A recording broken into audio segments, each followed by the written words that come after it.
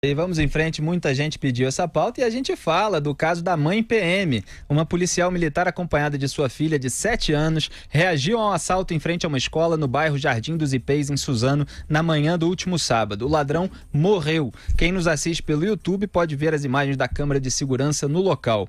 A cabo Kátia da Silva Sastre, de 42 anos, estava de folga quando disparou três vezes contra o assaltante. A ocorrência se deu por volta das 8 horas da manhã. Mães e crianças crianças pequenas aguardavam a abertura dos portões da escola particular Ferreira Master quando foram abordadas por um rapaz com um revólver calibre 38. Enquanto ele revistava um funcionário do colégio, a policial sacou sua pistola e o atingiu com tiros no peito e na perna. No domingo, o governador de São Paulo, Márcio França, entregou flores a PM em um evento na zona leste de São Paulo e foi cumprimentá-la pela destreza, técnica e coragem. Mas a onda de violência não parou por aí. Um assaltante foi morto por um policial militar de folga na manhã deste domingo ao tentar assaltar uma farmácia na região da Enseada, em Guarujá, litoral de São Paulo. E quem nos acompanha pelo YouTube também vê as imagens. E esse é o caso, Binha, do assaltante que saiu nessa, na, da Dia das Mães. Nessa segunda-feira, o delegado. Da, vamos falar desse assunto também, já bota tudo na, na roda da criminalidade. Nessa segunda-feira, o delegado da PF, Mauro Sérgio Sales Ábido, foi morto durante tentativa de assalto à sua residência no bairro do Morumbi, em São Paulo. Um dos assaltantes que matou Ábido recebeu indulto no Dia das Mães. Reforça o criminoso Renato Oliveira Pereira, um dos assassinos do delegado Mauro Sérgio Sales Ábido, estava preso até a semana semana passada, eu comentei aqui na semana passada é, sobre a saidinha do Dia das Mães, porque a Suzane, que tinha, tinha matado os pais, recebeu essa saidinha. Eu considero absurda e, dentro do absurdo, o mínimo que deveria haver é uma restrição a quem matou os pais. Mas está aí mais uma amostra do absurdo de saidinha do Dia das Mães. O criminoso sai da cadeia, vai lá e, com, e comete novos crimes. Mas vamos por partes aqui, Marco Antônio Vila. Tem o hum. caso da mãe PM. Esse caso, obviamente, gerou uma discussão sobre a reação dela foi correta,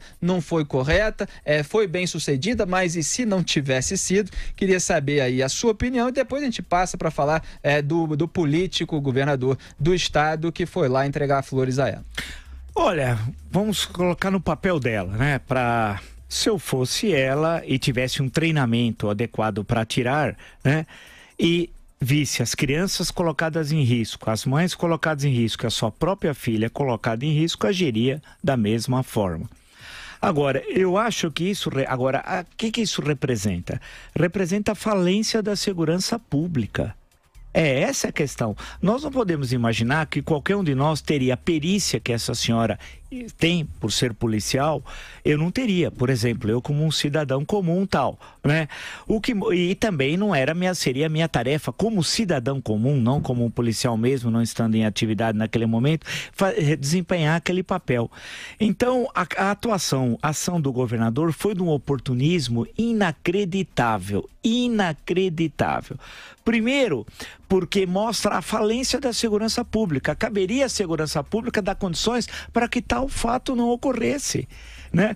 Ele não só não reconheceu o erro da segurança pública de São Paulo, que ele é o responsável, não importa que ele está no governo do estado há pouco mais de um mês, isso são outros 500 e ele vai tentar oportunisticamente faturar eleitoralmente da ação feita pela policial para defender a sua filha, as outras crianças e as outras pessoas que estavam lá. É um fato lamentável que mostra como a segurança pública não é vista seriamente pelos nossos governantes. E lembrando o seguinte: de todas as polícias militares, das 27 unidades da federação, a melhor, inegavelmente, é a de São Paulo. Inegavelmente. Né? Agora, a situação ainda é muito grave. Agora, o oportunismo do governador, né, que misturou isso com a questão do Dia das Mães, é lamentável a ação do governador tal. Agora, o episódio, no fim, é, é, que nós tínhamos os outros episódios que você relatou, é, Felipe, são trágicos, tal. Com o delegado da Polícia Federal que foi assassinado no Morumbi, uma coisa terrível, um assalto dentro de casa, eles estavam na garagem, foi uma coisa pavorosa. O episódio do supermercado. Em suma, parece o Velho Oeste, aqueles filmes americanos, né? Que a gente, antigos filmes de Bang Bang. O Brasil, uma sociedade civilizada, com um Estado efetivo, não pode funcionar dessa forma. É, eu acho que esse caso, em relação à reação da, da mãe PM, cada caso desse de violência, eu falo isso desde a, das análises de casos americanos também, que foram bastante polêmicos, é preciso analisar caso a caso. A caso.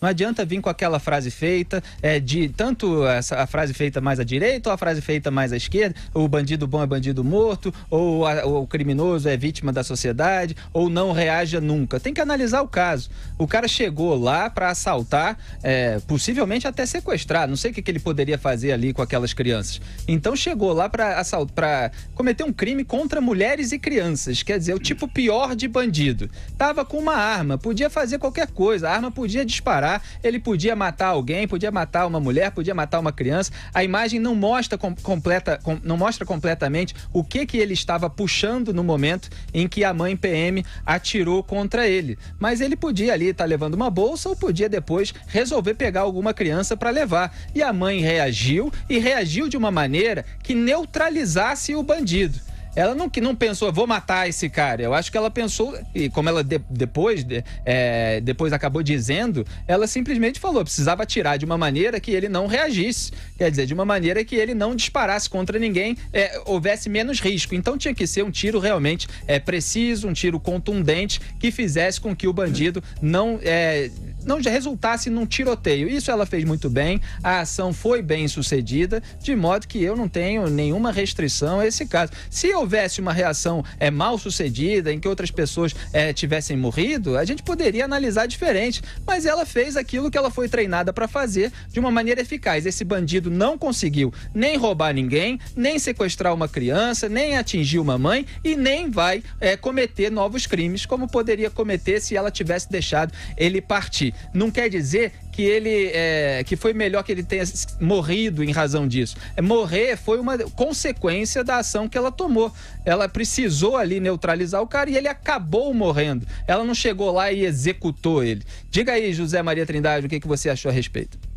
Pois é, é essa imagem eu até conversava com um especialista aqui em segurança pública, ele dizendo ali que não se trata de uma mãe qualquer, né? Estava ali uma policial especialmente treinada e armada com a arma da polícia, uma pistola, é, que é uma arma exclusiva, né, e que tem um, um poder de impacto muito grande.